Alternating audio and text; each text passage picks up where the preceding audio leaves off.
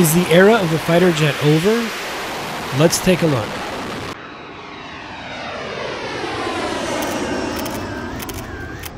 Hi everyone.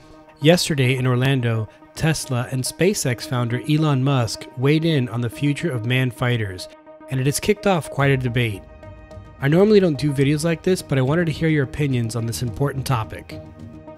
Alright, let's dive right in. During a talk with Air Force General John Thompson at the Air Warfare Symposium in Orlando, Florida, Musk said, The fighter jet era has passed. Drone warfare is where the future will be. It's not that I want the future to be, it's just this is what the future will be. Musk then went on to add, Locally autonomous drone warfare is where it's at, where the future will be. It's not that I want the future to be this, it's just what the future will be. The fighter jet era has passed. Yeah, the fighter jet era has passed. It's drones. He then went on to say this about the most advanced fifth generation fighter, the F 35. The Joint Strike Fighter, there should be a competitor. That's a controversial subject, but I don't think it's good to have one provider. This, of course, is referring to the plan of using the F 35 as the frontline fighter for the Air Force, Navy, and Marines. The argument for retiring manned fighters and switching to a drone operated force is, of course, nothing new. For decades, planners have argued that the era of manned fighter planes is over, and there was even a movie back in 2005 called Stealth that addressed this very topic. So, are manned fighters going away soon?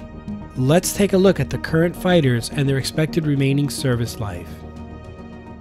The U.S. Air Force F 16 has just been upgraded to extend its operational time to 12,000 hours, meaning that the Air Force Viper won't be retired until at least 2048 and export versions until 2070.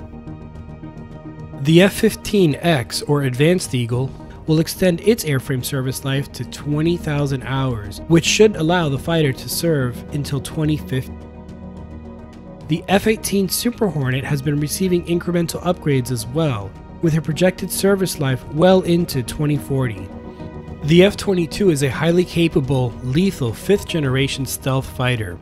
Although production of the airplane was cut short with less than 200 examples being built, the Air Force has maintained that the Raptor could be operational as late as 2060.